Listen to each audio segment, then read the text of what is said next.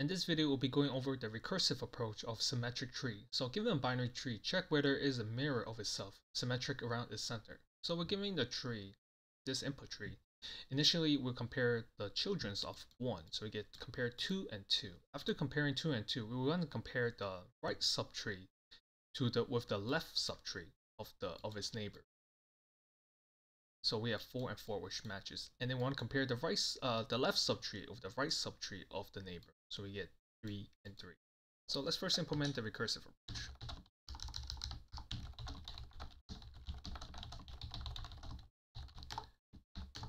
We will be comparing two nodes, which will denote n, p and q. Let's go over all of the cases. If p and q are both null, then is an valid pair. If only one of the nodes is null, then is an invalid pair.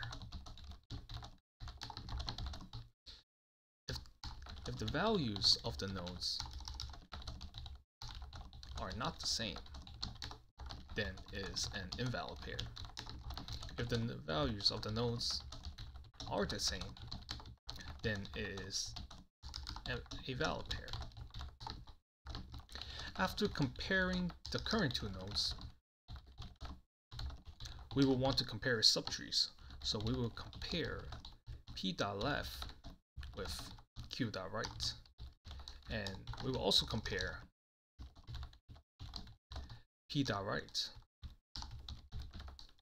with q.left. Let's go do a pseudocode. So let's first validate the input parameter. If roots is equal to null, then is a symmetric tree, so we have to return true. Then we'll implement a recursive approach and recursively compare the subtree. And then what parameters do we need? P, the current node 1, so it will be initially root.left and q will be node 2 initially root dot right. So we initially start off at 2 and 2. Now what's the base case? If both of the nodes are null, then we can return true. If one of the nodes is null, then we can return false. Then each of the recursive call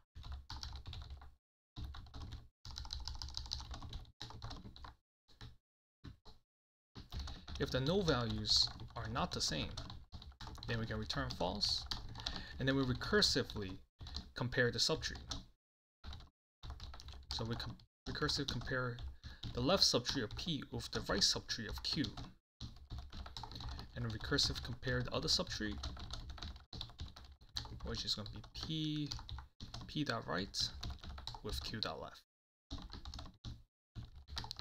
Return true only if both recursive calls returns true. So they are both valid subtrees or symmetric subtrees. Let's go to the time and, time and space complexity. So the time complexity is equal to O of n, where n is the number of nodes in the tree. Visit each node once, and our space complexity is go to of h, where h is the height of the tree. The recursive call stack memory. Let's go to the code. So if roots is equal to null, then we can return true. And then cursively compare, check if it's symmetric.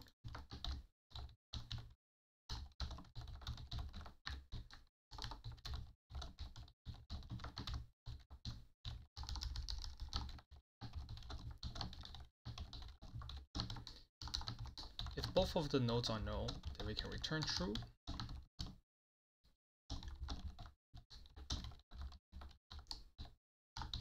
If only one of the nodes is null, then we can return false. And then return true only if the current value, the current node value are the same, and the subtrees are matching too. P dot left with Q dot right and compare P dot right with Q dot left.